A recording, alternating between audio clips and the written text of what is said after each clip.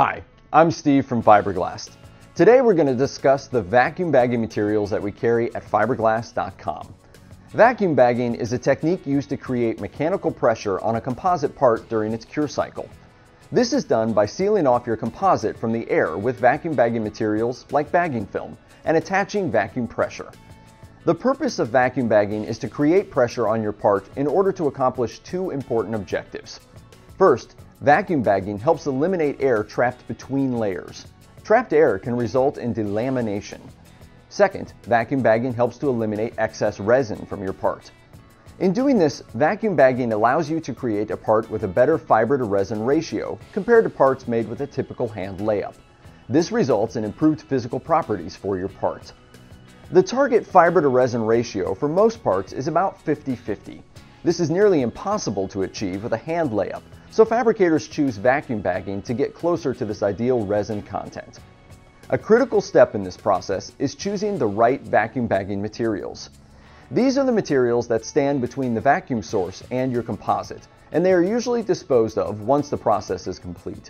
Material needs and placement should be analyzed for each project. So let's take a closer look at each of the categories, beginning with vacuum bagging film.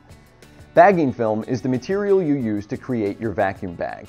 You may choose to bag your part and mold together as one complete piece, or you may attach the bag to your flange of your tool. In any case, your bagging film will be the outermost layer of your bagging setup that creates the airtight seal.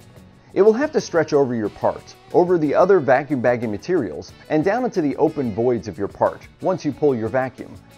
Bagging film is not expected to actually touch the part.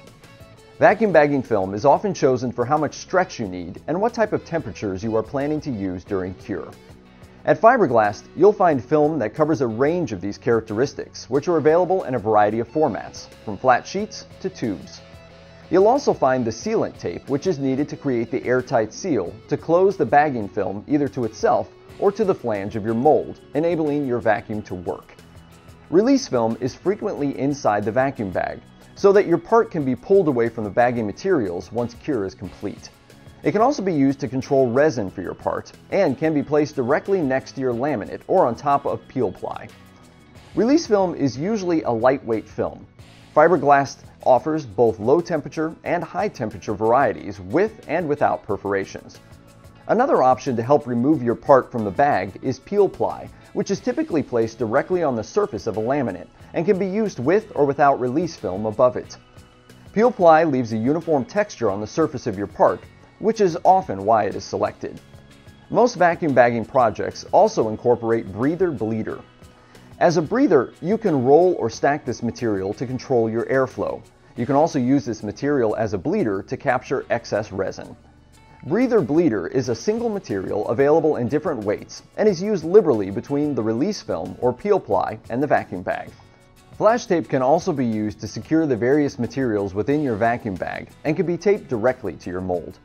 Fabricators use flash tape instead of household tapes because it withstands higher cure and exotherm temperatures, and especially because it will release cleanly.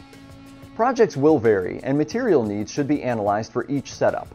No matter which setup works for your project, vacuum bagging can produce a higher performance part and improve your strength to weight ratio. Most professional fabricators use this technique and these materials to varying degrees in their composite projects. Fabricators with advanced skills, such as those in aerospace and auto racing, will use vacuum bagging as part of their resin infusion and pre-preg laminations. At fibreglast.com, you'll find everything you need for a successful vacuum bagging project from the highest quality bagging materials to pumps, hoses, connectors, and tools that build in convenience and efficiency. See our complete selection when you visit our website and watch our product spotlight videos. While you're there, visit our Learning Center for more great information on the vacuum bagging process.